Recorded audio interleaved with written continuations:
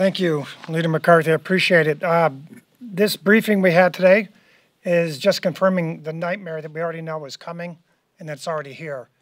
Uh, anytime in this country you hear of a drug overdose death, whether it be in Topeka, Kansas, or Syracuse, New York, my hometown, you have to understand that every single community is a border community in this country, and every single state's a border state because the poison that's coming across our borders that's much more easy to do because of the influx of uh, immigrants or uh, illegal aliens coming across is making it impossible to stop and it's killing our, killing our kids all over the country. Some of the quick stats for you. Right now they're seeing about 8,000 members or 8,000 aliens a day coming across. 8,000. Operational control is about 5,000.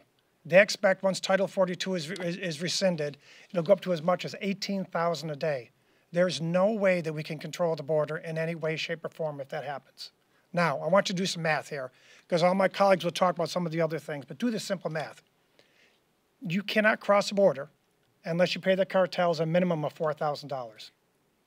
So if you have 8,000 a day coming across times $4,000, that's $32 million a day which is a billion dollars a month going to cartels. So what are they doing with this money? They're investing in being able to make fentanyl themselves and not having to import it from China. They're, they're, they're investing in cyber criminal activity.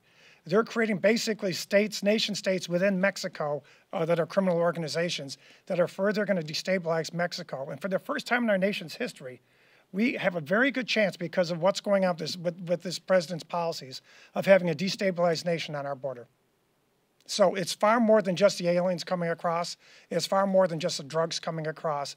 This is a national security issue that's going to be uh, that's going to further get worse as this as this uh, time goes on this summer. It's going to get much worse when they rescind Title 42, and it's a damn shame because our country can't can't handle it. And uh, next, I want you to uh, hear from Yvette Herrell.